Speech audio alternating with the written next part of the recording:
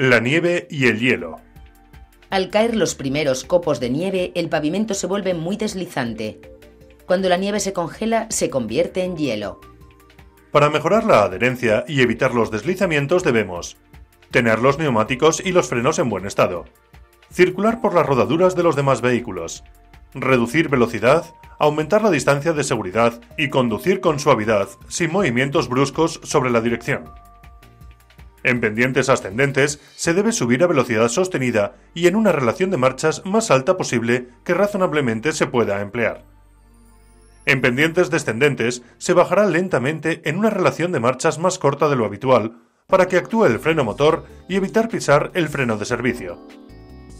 Para arrancar el vehículo sobre nieve, las ruedas patinan y se hunden, por lo que el conductor orientará las ruedas en línea recta y arrancará en una relación de marchas más alta que sea posible.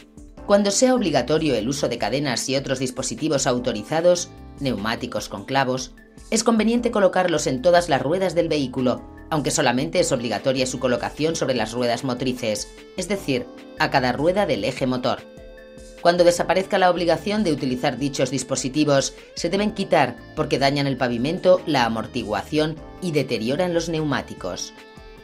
Se puede prever la existencia de hielo cuando las temperaturas son muy bajas durante la noche y a primeras horas de la mañana, especialmente en zonas sombrías, húmedas y valles con mucha vegetación. La existencia de hielo se observa porque la dirección se vuelve ligera y muy suave. En el caso de hielo, la distancia de frenado puede llegar a aumentar hasta 10 veces más de lo normal. Si usted inicia un viaje y cree que puede nevar, es conveniente llevar el depósito de combustible lleno, comida y ropa de abrigo por si se queda bloqueado.